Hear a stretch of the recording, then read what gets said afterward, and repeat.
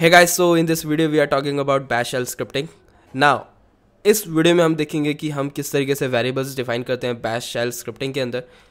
So first of all जो मेरी इससे पहले वाली जो वीडियो थी उसके अंदर हमने देखा था कि हम किस तरीके से एको का यूज़ कर सकते हैं ठीक है? क्या होती है ये किस लिए होती है? हम बैश शेल के बैश शेल स्क्रिप्टिंग के अंदर हम एको यूज़ करते क्यों हैं?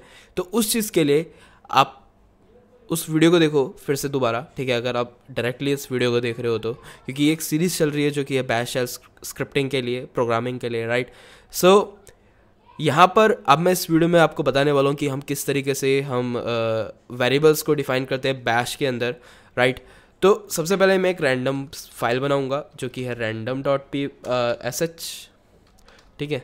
इस नाम से हम एक फ़ाइल बना लेते हैं। और इस फ़ाइल के अंदर हम लिखेंगे सबसे पहले shebang user bin bash now अगर मैं आपसे बात करूँ कि शिवैंग होता क्या है, आपको अगर पता है तो ठीक है।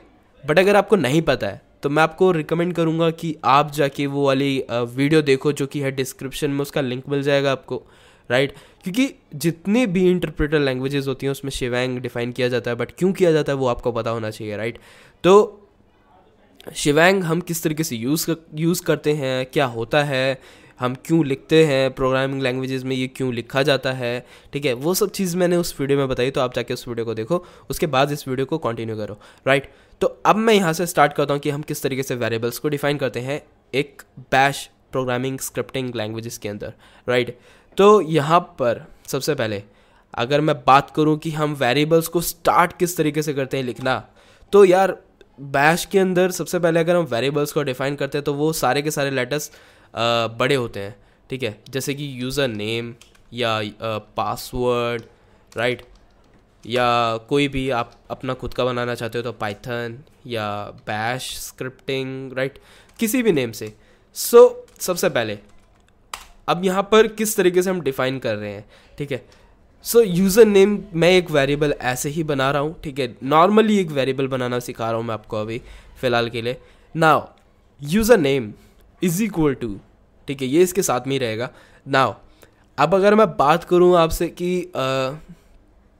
जो हम पाइथन में जो हम लिखते हैं स्ट्रिंग और इंटीजर वैल्यूज़ उसमें हम स्ट्रिंग जब हम वैल्यूज़ लिखते हैं, ठीक है, जब हम स्ट्रिंग वैल्यूज़ लिखते हैं तो उसमें क्या होता है कि हम डबल कोट्स या सिंगल कोट्स लगाते हैं राइट तो बट हमें यहाँ पर ऐसा कुछ नहीं करना है। हमें यहाँ पर इस तरीके से बिल्कुल नहीं लिखना है, ठीक है? हमें लिखना है सीधा ऐसे। और जो भी आउटपुट आएगा हम वेरिएबल्स का यूज़ किस लिए करते हैं, ये बहुत ही इंपॉर्टेंट है वेरिएबल्स क्यों? क्योंकि हम जो भी आउटपुट आ रहा है किसी भी चीज़ में से लाइक किसी भी कमांड में से जो भी आउटपुट आ रहा है, हम उस उस आउटपुट को हम एक वेरिएबल के अंदर डाल के हम प्रोग्रामिंग लैंग्वेजेस को थोड़ा सा ईजी बना सकते हैं ठीक है? क्योंकि ऐसा हो सकता है कि उसमें से आउटपुट बहुत ज़्यादा बड़ा बड़ा बहुत लेंथी आ रहा हो और हम उस चीज़ को एक स्टोर करवा के एक वेरिएबल के अंदर और फिर हम उसको कुछ और तरीके से प्रिंट करवा सकते हैं लाइक हम एको कर सकते हैं राइट तो बट इसीलिए हम इसी चीज़ को यूज़ कर सकते हैं, ठीक है? करते हैं मेनली तो यहाँ पर मैंने एक वेरिएबल डिफाइन कर दी ये एक वेरिएबल डिफाइन हो गया, ठीक है? अब यहाँ पर वेरिएबल को हम यूज़ किस तरीके से कर रहे हैं? अब सिंपली हमको प्रिंट करना है, ठीक है? तो प्रिंट करने के लिए हम क्या यूज़ करते हैं? एको तो हमने जिस तरीके से हमने लास्ट वीडियोस में पढ़ा था तो हम एको का यूज़ करते हैं प्रिंट करने के लिए राइट तो प्रिंट के लिए हम एको यूज़ कर रहे हैं और एको हमको करना किसको है? यूज़र नेम ओके तो अब यहाँ पर हम करेंगे फ़ाइल को सेव और अब हमें आउटपुट क्या मिलना चाहिए?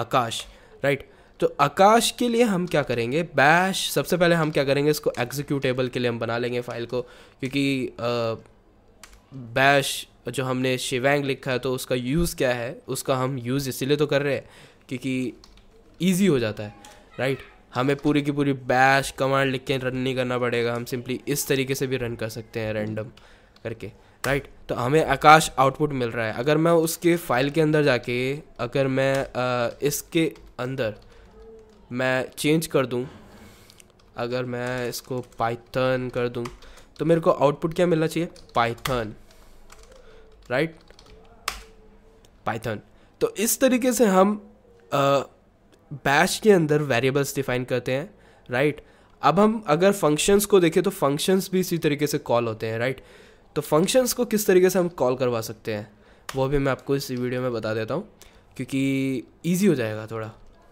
या नहीं इससे नेक्स्ट वीडियो में देखते हैं हम जो भी है नेक्स्ट वीडियो में हम देखेंगे कि हम किस तरीके से और और वर्क कर सकते हैं क्योंकि ये ज़्यादा लेंथी हो जाएगी वीडियो तो इतनी ज़्यादा लेंथी की फ़ायदा नहीं है। सो so, नेक्स्ट वीडियो में देखते हैं फ़ंक्शंस तो वैसे बहुत आगे का पार्ट होना चाहिए मेरा तो उसके लिए हम आगे की वीडियो में देखेंगे अभी के लिए ड्रॉप करते हैं इसको। ठीक है? तो यहाँ पर हमने सीख लिया कि हम वेरिएबल्स किस तरीके से डिफाइन करते हैं। आप इसी तरीके से इंटीजर वैल्यू भी डिफाइन कर सकते हो। ठीक है? अगर आपको किसी चीज़ में प्रॉब्लम आ रही हो तो आप कर सकते हो मेरे को कमेंट बॉक्स में अपना रिप्लाई दे सकते हो या मैसेज छोड़ सकते हो मेनली ठीक है? बहुत सारे सोर्स मिल जाएँगे आपको। आप मेरे से कॉन्टैक्ट कर सकते हो। और हाँ अगर आप नए आए हो चैनल पे तो सब्सक्राइब करो। सब्सक्राइब करने से ये होगा कि आपको मेरी नई वीडियोस मिलेंगी और आप देख सकते हो। राइट अगर सब्सक्राइबर हो आप मेरे तो bell icon bell icon press करो यार। क्योंकि उससे क्या होगा? नोटिफिकेशंस मिलेंगे यार आपको। नोटिफिकेशन मिलेगी तो आप उन वीडियोस को सबसे पहले देख सकते हो राइट तो इतना हो गया। कोई भी प्रॉब्लम हो कमेंट बॉक्स में जाओ। अपना कमेंट छोड़ दो, मैं रिप्लाई करूँगा, ठीक है?